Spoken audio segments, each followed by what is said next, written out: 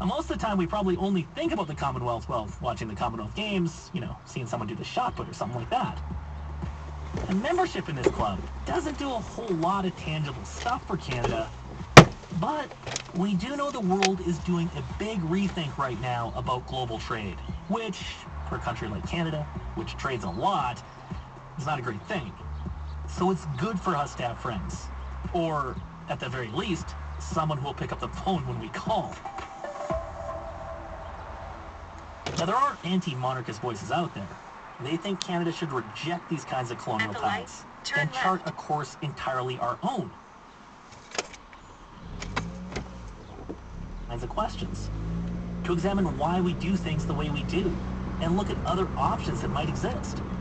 In That 1.5 said, kilometers, keep right to before we merge onto start, you know, 401 east. tinkering with small aspects of it, we need to ask ourselves, I suppose, what, what problem do we wish to solve? What's the, what's the difficulty that we're trying to address? Let's just pause here for a second and go back to high school social studies. Sorry about that. So we know Canada is a constitutional monarchy. The Prime Minister is the head of government, and the King is the head of state. As for the Governor General and the Lieutenant Governors, they represent the Crown.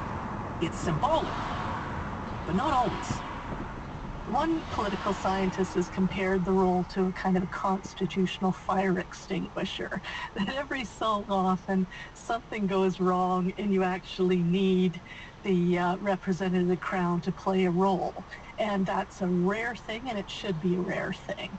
But the idea is to prevent abuses of power and to make sure that the ministry that's in place always enjoys the confidence of the representatives we've elected. So we actually saw this fire extinguisher get used relatively recently. It was in BC after the 2017 election.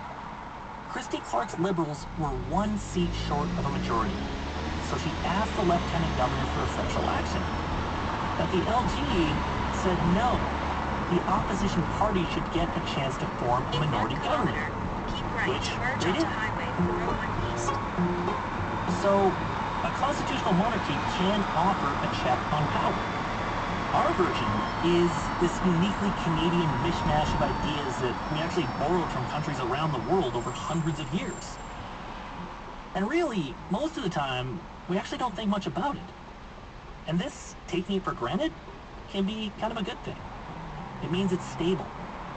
Now, this may not seem sexy until you look at countries that lack stability. Stuff like elections with a peaceful transition of power. Because it's often said, the market hates uncertainty.